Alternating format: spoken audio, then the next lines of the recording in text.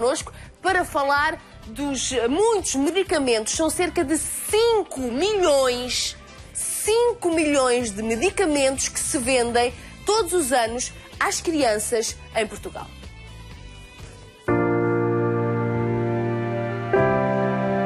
Sou pai sem jeito para escrever. Conto em poucas palavras o que justifica o meu pavor ao medicamento Ritalina. Tive há 14 ou 15 anos atrás o meu filho diagnosticado como hiperativo. Hoje o meu filho é um inapto. Onde é que eu falhei? Onde é que a medicina me traiu? Para mim, como leigo, a eleger um motivo da nossa desgraça, elegeria a Ritalina. Ritalina, que é um medicamento que é dado às crianças, supostamente para as acalmar, para que elas não, não sejam tão hiperativas, mas vamos hoje com o Dr. Quintino Ares fazer essa diferença entre, afinal, o que é que é uma criança hiperativa e uma criança